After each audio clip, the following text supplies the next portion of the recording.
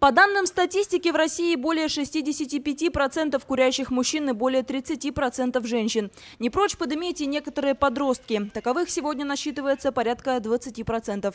Несовершеннолетние любители пагубной привычки есть и в Лангепасе. И нельзя сказать, что курят от нечего делать. Ведь в городе созданы все условия для полноценного развития детей разных возрастных групп.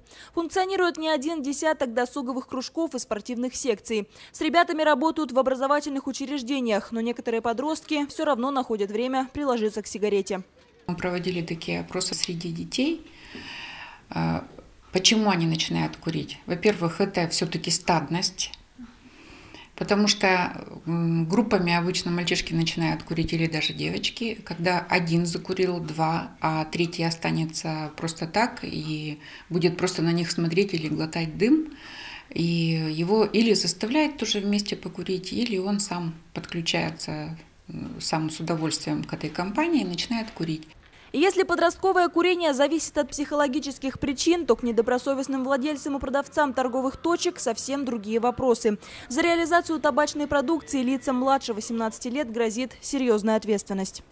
Сотрудники полиции при выявлении таких фактов направляют все материалы э, в Роспотребнадзор э, и в соответствии со статьей 1453 э, Кодекса об административных правонарушениях на предпринимателя составляется протокол.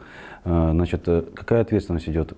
На физическое лицо от 3 до 5 тысяч, ну и, естественно, на юридическое лицо там кратные размеры, то есть от 30 до 50 тысяч рублей.